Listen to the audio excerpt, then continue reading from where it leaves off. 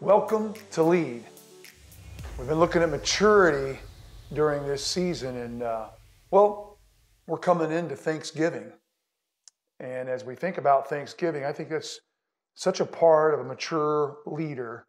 The idea of, of, of being thankful, and not just being thankful, because we could be thankful about things and not express it. So, being thankful, but also expressing thanks. Being thankful for uh, for the people in your life. I, I would say this, it's very cliche, but it's so true. Having an attitude of gratitude, a lifestyle of thanksgiving. In fact, in 1 Thessalonians 5.18, uh, the Apostle Paul tells us that, that that is the will of God concerning us, that, that we are thankful, that we give thanks. Certainly we know that, that God receives, should receive our thanks for what he's done in our life.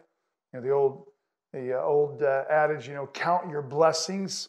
Well, that's important to do, and you probably never get to the, the number of blessings that we're blessed with. I think this in the life of a mature leader, well, that person's thankful. Thankful for what is happening in their life, thankful for the people in their life. I think about, you know, what I do. I'm, I'm thankful for, you know, my, my wife. We'll be married 35 years in January. That's a long time to have to kind of deal with a guy like me. Or, you know, my my daughter, my son-in-law, my grandchildren, I'm thankful for them in my life. I'm thankful for the staff at Elevation Church that serves and, and does so much to uh, uh, makes an investment into the future and into the ministry of, of this church. Thankful for the congregation that I get to serve.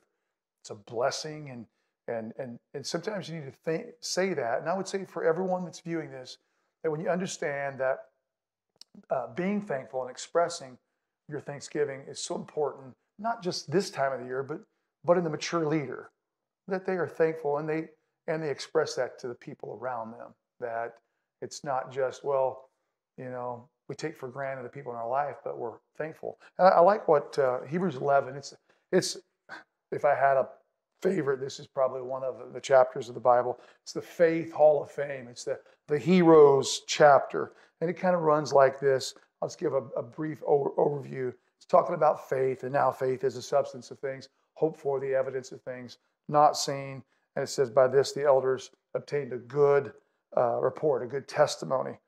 And it says, We understand that by faith the worlds were framed by the word of God, so that the things that, uh, that are seen are uh, not made of the things which are visible, that, that, that, that God was working, we believe that, in, uh, prior to anything that we see now.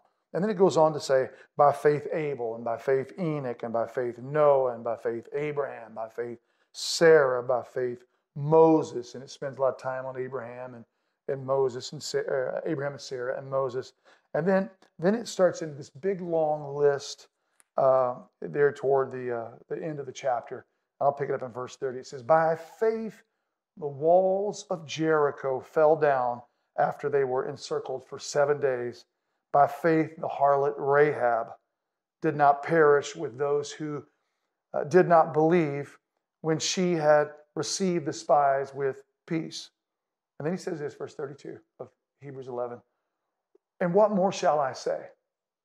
For the time would, would uh, fail me to tell of Gideon and Barak and Samson and David and Samuel and the prophets, who through faith subdued kingdoms, worked righteousness, obtained promises, stopped the mouths of lions, uh, quenched the uh, violence of fire, escaped the edge of the sword, out of weaknesses were made strong, uh, became valiant in battle, turned to flight the armies of uh, the aliens. Women received their dead raised to life again.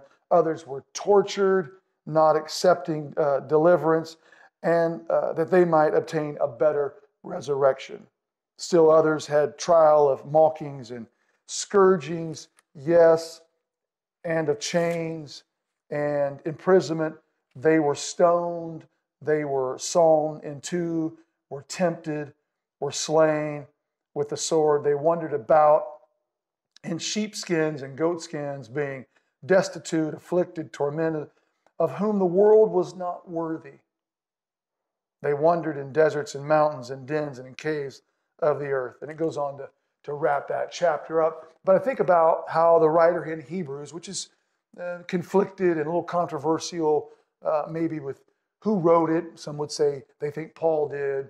Others maybe would say Luke or Barnabas or Apollos. It doesn't really matter. We know the Holy Spirit inspired it.